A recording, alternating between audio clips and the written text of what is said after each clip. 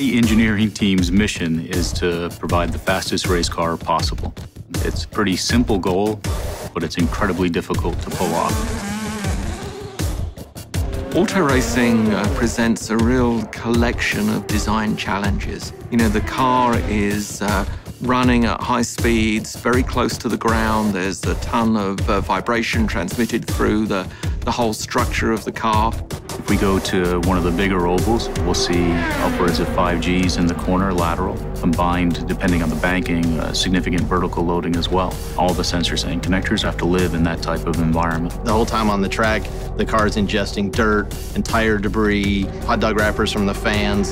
Cars come back and had birds inside it. So it has to be pretty stout to put up with all that stuff. Typically, the car runs at, at 100 degrees or more. You know, the engine's turning at 12,000 RPM. There's a lot of vibration, you know, through the car from, from that. The racetrack is not, not as smooth as one might imagine.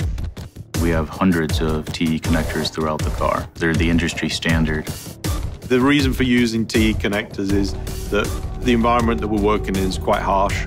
So the connectors that they supply are, are lightweight and durable. The connectors go through the full series of testing to make sure that they withstand vibration, heat, and nasty substances like fuel, oil, brake cleaner, and other things that the pit lane uses. We also use the test lab to help us out when teams have any difficulties. The connectors can come back to us and the same team can evaluate what those connectors have seen and help advise the team in the future you know, always pushing, always being at the limit, every lap running at the limit, uh, putting all the stress through the race car, you know, you have a lot of trust between you and your engineer because at the end of the day, he's going to try to do the best for you. And yeah, it becomes a really good, you know, an important relationship.